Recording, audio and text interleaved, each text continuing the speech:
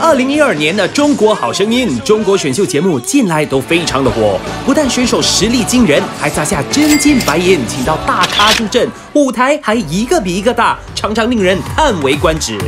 配合台上的精湛演出，台下也同步上演了另一场精彩的实境表演。说嗨就嗨，一 Q 就哭，真情流露。他们是节目里不可或缺的职业观众。一起来看看这批生力军是如何逢场作戏，还有他们的独家内幕。中国景点。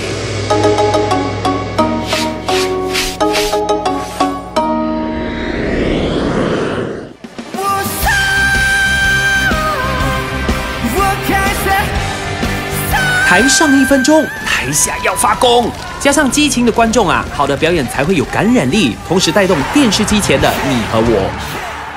为了确保观众的品质，职业观众成了中国节目的主要栋梁。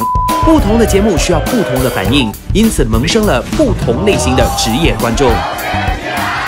首先来看看默默陶醉型，闭着眼睛，双手合十，随着音乐摆动，瞬间跟音符融为一体。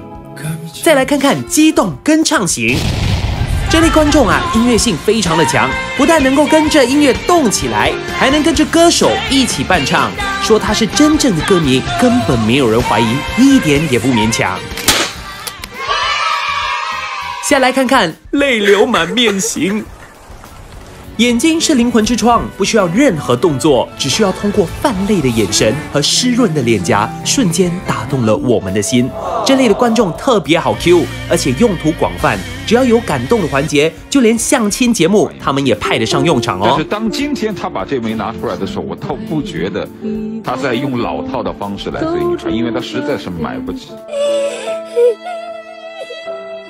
最后看看戏精型。戏精观众完全不需要导演来 Q，自主能力庞大，随时都会出其不意做出常人难以理解的举动，随时都能让台下比台上还要精彩。据媒体报道，职业观众的酬劳一般是从新币二十块钱起跳，演得生动到位哦，还能赚取八十块钱一场。出神入化的戏精，甚至可能还会拿到双倍。当然，不单单是看表现，颜值高也会加分加钱，不但是一份可观的收入，还可以看到明星哦。新二代综艺天王吴宗宪的女儿 Sandy 也曾经爆料职业观众的内幕。现场换五百个新的观众进来，十五分钟，他预备了一千五百个观众在外面 stand by。但其实聘用职业观众也情有可原。据中国职业观众中介公司透露，单单在北京区啊，每一个月就需要大约七万八千名观众嘞。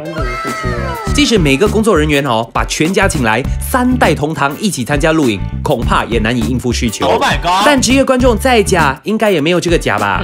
江苏卫视啊日前就搞了个晚会，但因为疫情关系，没有办法邀请观众出席。制作单位这时神来一笔，制作了上千个纸片观众，足以证明了观众在节目里的重要性。